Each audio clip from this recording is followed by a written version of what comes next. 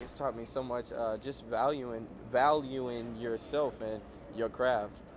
Um, remembering how to uh, always keep integrity of over yourself, you know, and always stay stay on top of your game.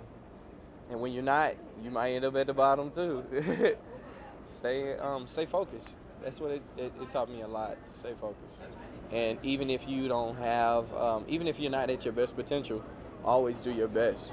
I just got over laryngitis. Like before I came here, my voice is totally different from battles, knockouts, and blinds. And it's been crazy. It's been this journey's been crazy, but I've been pushing through it. And yeah, I'm still here, man. God is good.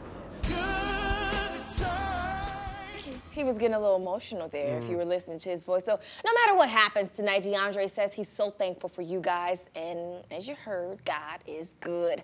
Last night he performed in The Voice's Top 10, singing That's What I Like by Bruno Mars. And it was picked by his coach, Adam.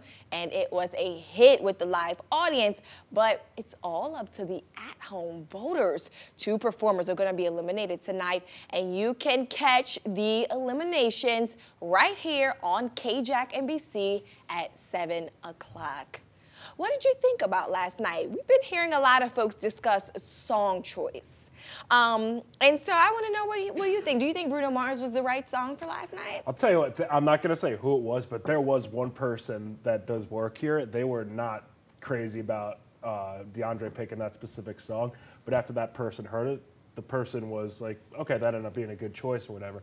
I think it's a good idea to kind of pick a more mainstreamish song that's relatively recent mm-hmm. because more people that are watching, if you get a little bit of that younger crowd, say you're 15 to 30 year old crowd, and that's really what you're kind of going after. I feel like when it comes to people trying to vote and things of that nature, you want a song that everybody knows. And I mean, a lot of people do know that Bruno Mars song. So for nothing else, as far as the familiarity with that song, it was a good choice just All for right, that alone. Let's hope that keeps them around.